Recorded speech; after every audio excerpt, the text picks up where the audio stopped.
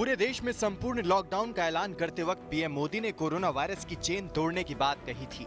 ये वायरस इंसानों से इंसान में पहुँचता है।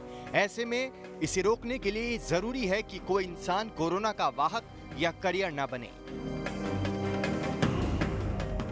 लेकिन दिल्ली के निजामुद्दीन में तबलीगी जमात के धार्मिक आयोजन से कोरोना की ऐसी मानव श्रृंखला बनने का डर पैदा हुआ है, जिसने खौफ मचा दिया है।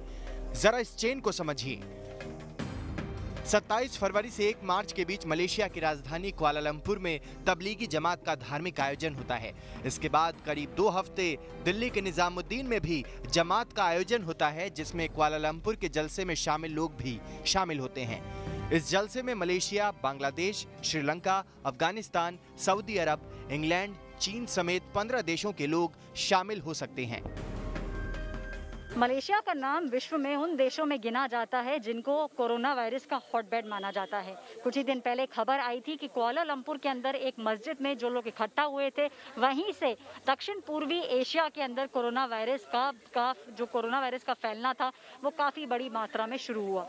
ऐसे में दिल्ली में बेस्ड जो तबलीगी जमायत है, उसका मलेशिया कनेक्शन इस समय डराने वाला है। बहरहाल, जब निजामुद्दीन के धार्मिक आयोजन में शामिल होने वालों के कोरोना संक्रमित होने की खबर आई तो यूपी सरकार सबसे पहले हरकत में आई।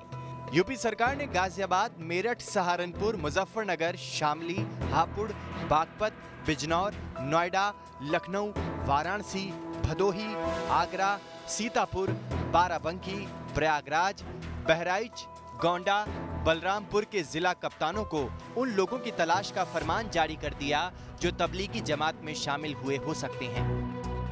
18 जिलों के अधिकारियों को खत लिखा गया है कि जल्द से जल्द ऐसे एक सौ सत्तावन लोगों को ढूंढकर निकाला जाए, क्योंकि ये लोग संक्रमित होने की वजह से समाज के लिए खतरा बनकर बैठे हैं।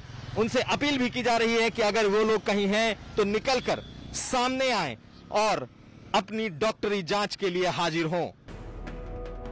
यूपी सरकार ऐसा क्यों कर रही है, इसको समझने के लिए तमिलनाडु का केस समझिए।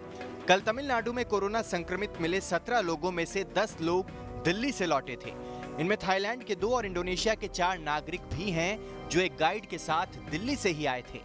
थाईलैंड का नागरिक 22 लोगों के संपर्क में आया। इन सब में कोविड 19 पाया गया। इस शख्स से कोरोना इरोड, मदुरई कोयम्बटूर और पेरुनदुरई तक पहुँच गया। हालाँकि ये साफ़ नहीं है कि दिल्ली से पहुँचे ये लोग तबलीगी जमात के आयोजन से लौटे थे, लेकिन इससे ये साफ़ है कि कोरोना एक इंसान से दूसरे इंसान में तेज़ी से फैल रहा है। जाने लोग कोरोना का करियर बन गए हैं। कोरोना के इस चेन को तोड़ने की ज़रूरत है। लखनऊ से कुमार अभिषेक, हैदराबाद से आशीष पांडे और दिल्ली से ऐश्वर्या पालीवाल के